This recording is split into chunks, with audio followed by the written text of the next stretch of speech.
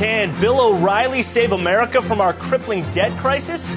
The Cable News King is doing a little moonlighting here in Hollywood, but as I found out, Bill always keeps an eye on Washington.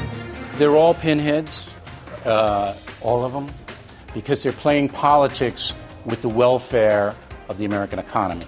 So watch out, Capitol Hill. Bill may be on his way. I'll solve this. Bring me down to Washington. I'll solve it for you guys. You guys can't. Let me do it. But first, Rizzoli and Isles meet the no spin zone. Detective Rizzoli. So you're playing yourself I in the am. episode. See, nobody is ob- as obnoxious as me. They couldn't find an actor to, to play me. You need to come on the factory. Bill in the middle of a murder case, but is he a pinhead?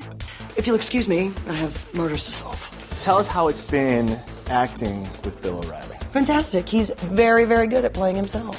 How's it working with him? Just a regular tea party. Aha! Bill and the show's executive producer once worked together, and Bill and Angie have been friends since she was invited to appear on The O'Reilly Factor, though it took some coaxing to get her there. And I actually um, just sarcastically said to the person who was asking me, you know what? Yeah, I'll do Bill's show when Bill calls me up personally and tells me himself that he will not crucify me on his show. Literally 20 minutes later, and I was like, hello, Bill O'Reilly.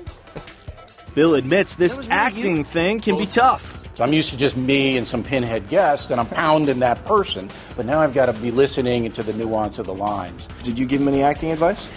I did. I told him that he better not mess up his lines or he is going to give Bill Maher something to talk about.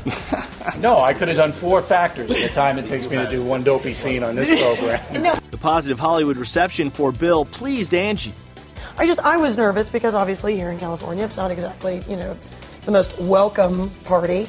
So um, I was just kind of nervous that people were going to be mean to him, and no one has. I get up early today.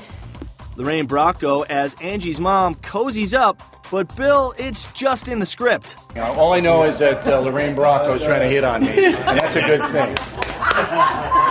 Ah, Bill the ladies' man. Bill's got skills. Well, his episode of Rizzoli and Isles will air in November on TNT.